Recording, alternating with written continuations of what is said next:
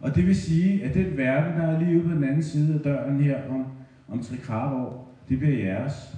Så er det faktisk jer, der skal sørge for, at øh, den verden, som vi alle sammen kommer til at være i og kommer til at leve i, at det også bliver en bedre verden.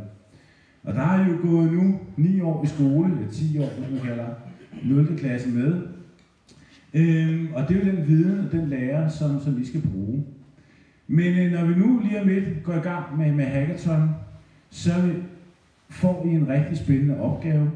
Og øh, den opgave, det er jo rigtig vigtigt, at øh, os, som skal prøve lige nu at prøve at lave samfundet, at vi lytter til nogle af de idéer, I kommer med. Og jeg kan fortælle jer, at øh, de to tidligere gange, vi har holdt hackathon, der har det været sådan, at, øh, at vinderprojekterne, de er faktisk øh, blevet til noget. Vi har prøvet dem af en til en, og det har faktisk vist sig at være nogle rigtig, rigtig gode, spændende projekter.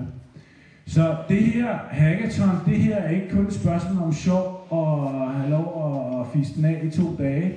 Øh, det her, det er simpelthen faktisk øh, i senesat alvor. Og det er alvor i forhold til, at øh, vi jo også har inviteret en masse mennesker udefra, som skal komme og forstyrre os de to dage.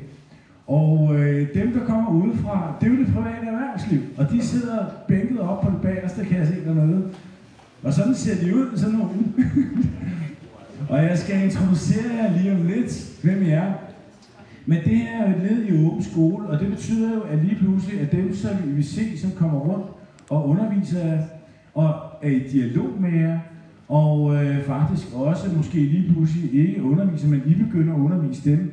Det er altså mennesker udefra, som øh, sidder i nogle rigtig gode job, kan man sige, og øh, derfor så er det jo vigtigt, at I hele tiden er i dialog med dem og prøver at finde ud af, hvordan man kan man prøve at skabe de bedste resultater sammen med de mennesker.